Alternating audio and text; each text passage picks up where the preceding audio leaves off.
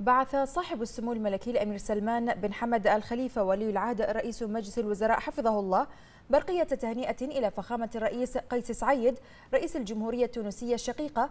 وذلك بمناسبة الذكرى السنوية لاستقلال بلاده أعرب سموه في البرقية عن أطيب تهانيه وتمنيته لفخامته بموفور الصحة والسعادة. ولشعب الجمهورية التونسية الشقيق تحقيق المزيد من التقدم والازدهار.